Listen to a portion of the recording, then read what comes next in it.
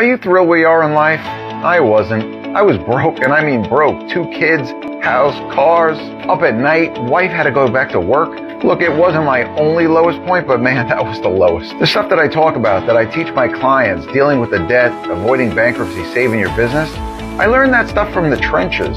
I wouldn't be standing here without it. I owed way more than I could ever pay back, and I'm not bragging. Is not something I'm proud of the lawsuits, the collection calls, everything you built just starting to unravel. This is not why I became an entrepreneur. My wife reminded me every day, this is not what she signed up for. I'm telling you this because every day I talk to business owners that are in the same situation. But you dig out, I promise you, there's a light at the end of this tunnel. We didn't get ourselves into this mess overnight, and I'm telling you, there's a process that you need to do in order to get out of it. The same process that worked for me, it could work for you. If you have any questions about how to get you and your business out of debt, and to get yourself thrilled at where your life should be and getting thrilled where you are in life, DM me here or hit me up at ralph at firstchoicedebtsolutions.org.